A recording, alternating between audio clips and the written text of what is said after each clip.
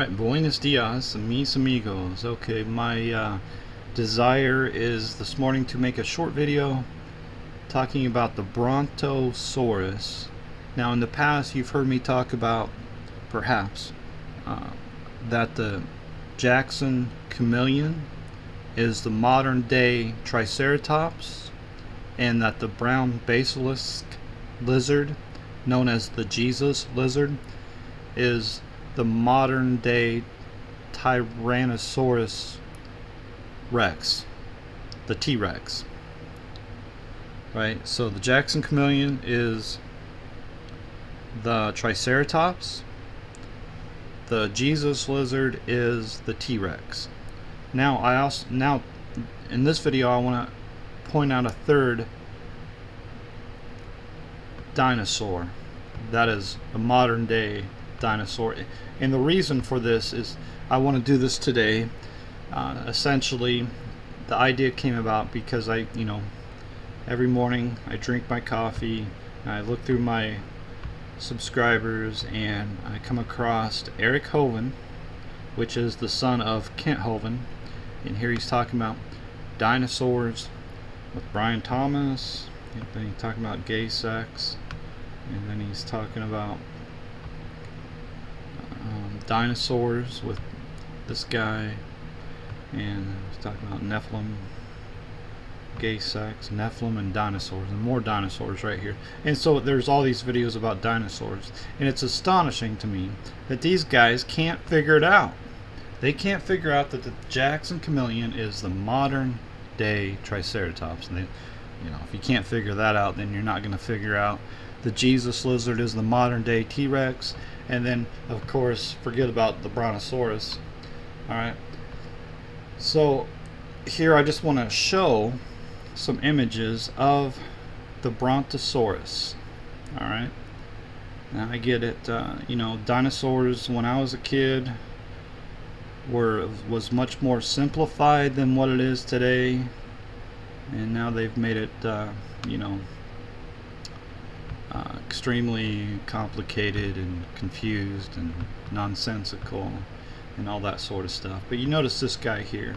Well, there's something I, uh, I guess four points maybe that I want to point out here: back legs, front legs, and the nose. Okay, so we got the long tail, got the back leg, front legs, and the nose.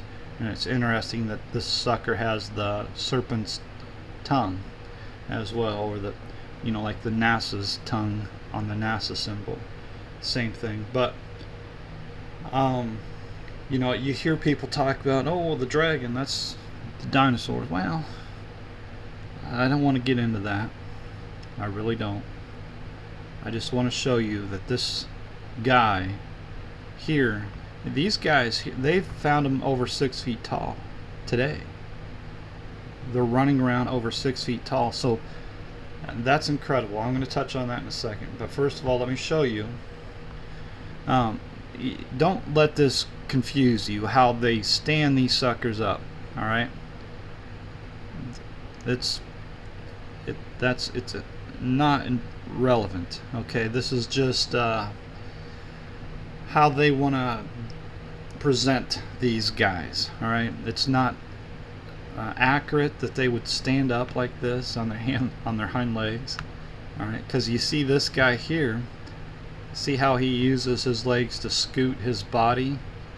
Here in this uh, museum they have him walking upright that sort of thing. Don't let that confuse you okay? I want you to pay attention here. The long tail the back legs the front legs and then the nose okay? Nose front legs back leg long tail. I want you to notice that.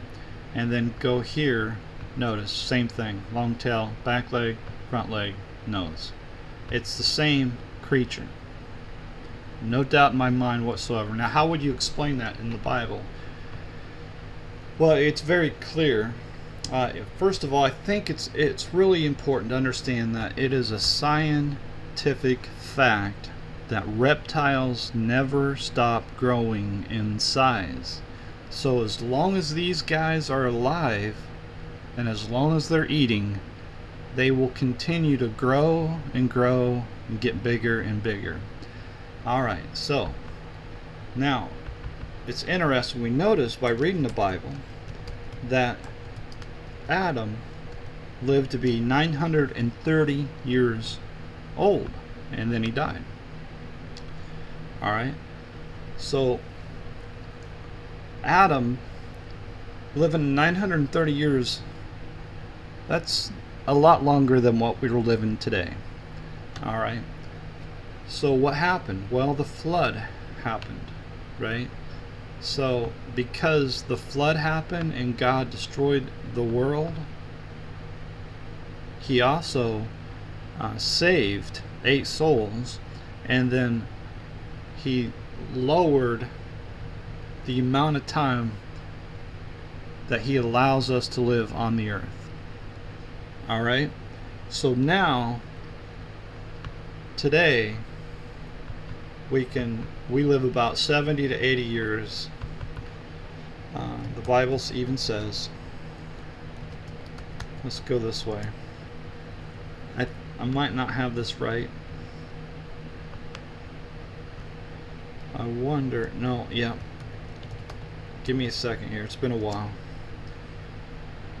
and here in Psalm 90, verse 10 The days of our years are threescore years and ten. That's 70 years.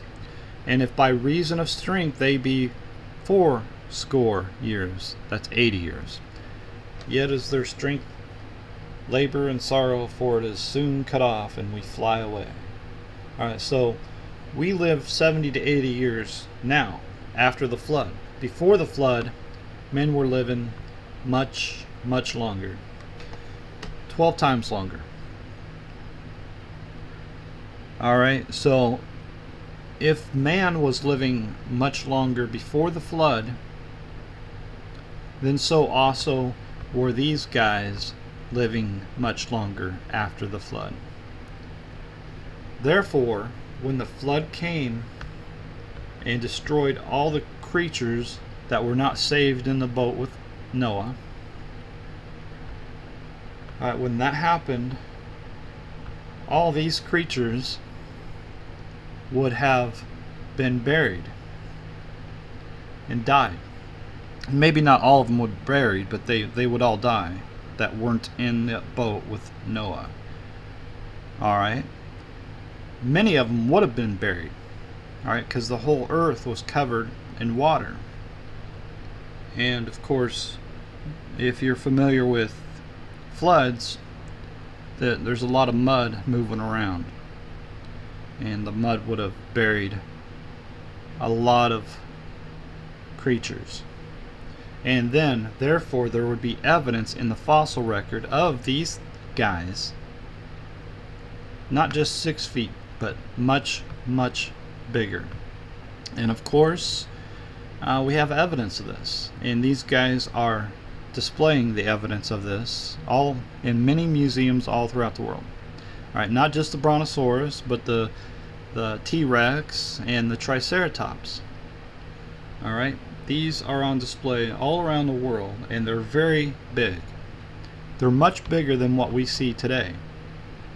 However, these creatures, the Brontosaurus, the T-Rex, the Triceratops, they are bone for bone the same as the creatures that are alive today. And I think people really get confused by this idea of extinction.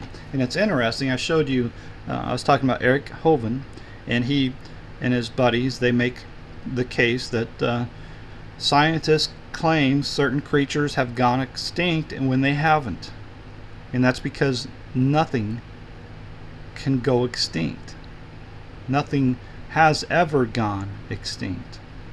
If anything had gotten had gone extinct, then Noah saving all these creatures would have been in vain.